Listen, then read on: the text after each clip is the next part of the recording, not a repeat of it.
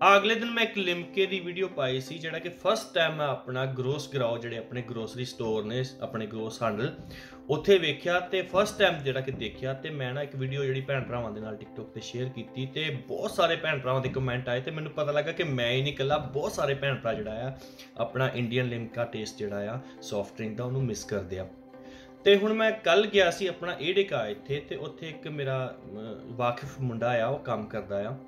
ਤੇ ਮੈਂ ਉਹਦੇ ਨਾਲ ਗੱਲ ਕਰਦਾ ਸੀ ਉਸ ਬਾਰੇ ਤੇ ਮੈਂ ਉਹਨੂੰ ਕਿਹਾ ਕਿ ਜਿਹੜਾ ਕੋਕਾ ਕੋਲਾ ਦਾ ਟੇਸਟ ਆ, ਉਹ ਵੀ ਜਿਹੜਾ ਇੱਥੇ ਉਹ ਨਹੀਂ ਮਿਲਦਾ, ਜਿਹੜਾ ਸਾਨੂੰ ਇੰਡੀਆ ਦੇ ਵਿੱਚ ਮਿਲਦਾ। ਤੇ ਉਹਨੇ ਤੇ ਉਹਨੇ ਮੈਨੂੰ ਕਿਹਾ ਕਿ ਤੁਸੀਂ ਜਿਹੜੀਆਂ ਪੈਟ ਜਾਂ ਮੇਆ ਬੈਕ ਫਲਾਸ਼ਾਂ ਜਿਹੜੀਆਂ ਪਲਾਸਟਿਕ ਦੀਆਂ ਹੁੰਦੀਆਂ ਨੇ, ਤੁਸੀਂ ਜ਼ਿਆਦਾ ਕਰਕੇ ਇਹ ਜ਼ਿਆਦਾ ਕਰਕੇ ਲੈਂਦੇ ਹੋ। ਤੁਸੀਂ ਜਿਹੜੀਆਂ ਆਹ ਕੱਚ ਦੀਆਂ ਬੋਟਲਸ ਨੇ ਛੋਟੀਆਂ, ਇਹ ਲੈ ਕੇ ਦੇਖੋ।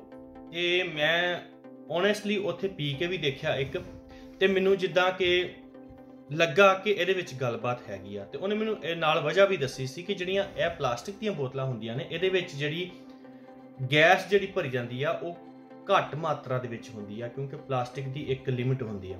ਤੇ ਜਿਹੜਾ ਕੱਚ ਆ, ਇਹਦੇ ਵਿੱਚ ਜਿਹੜੀ ਆ ਗੈਸ ਜ਼ਿਆਦਾ ਕੰਪਰੈਸ ਕਰਕੇ ਪਾਈ ਜਾ ਸਕਦੀ ਆ, ਇਸ ਕਰਕੇ ਇਹਦਾ ਟੇਸਟ ਜਿਹੜਾ ਅਲੱਗ ਹੁੰਦਾ ਹੈ ਤੇ ਉਹਨੇ ਇਹ ਵੀ ਦੱਸਿਆ ਕਿ ਬਹੁਤ ਸਾਰੀਆਂ ਜਿਹੜੀਆਂ ਨੇ ਕਲੱਬਸ ਨੇ ਬਾਰਾਂਸ ਨੇ, ਜਿਹਦੇ ਵਿੱਚ ਇਹ ਕੱਚ ਦੀ ਬੋਤਲ ਜਿਹੜੀ ਆ ਜ਼ਿਆਦਾ ਲੋਕ ਪਸੰਦ ਕਰਦੇ ਆ। ਤੇ ਓਨੈਸਟਲੀ ਕਹਾਂ ਮੈਨੂੰ ਇਸ ਚੀਜ਼ ਦਾ ਨਹੀਂ ਸੀ ਪਤਾ। ਚਲੋ, ਕੱਚ ਦੀ ਬੋਤਲ ਇੱਥੇ ਵੀ ਮਿਲ ਜਾਂਦੀ ਹੈ, ਇਹਨਾਂ ਦਾ ਪਤਾ ਸੀ।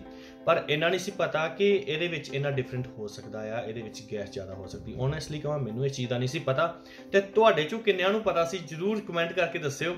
ਤੇ ਬਾਕੀ ਚਲੋ, ਆਪਾਂ ਦੇ ਦੇਸੀ ਜੇ ਬੰਦੇ, ਤੇ ਪਲੀਜ਼ ਯਾਰ ਕੋਈ ਗਮ- ਗਲਤ ਕਮੈਂਟ ਨਾ ਕਰਿਓ। ਤੇ ਜਿਉਂਦੇ ਵਸਦੇ ਰਹੋ, ਸਤਿ ਸ਼੍ਰੀ ਅਕਾਲ ਸਾਰਿਆਂ ਨੂੰ, ਹੈ।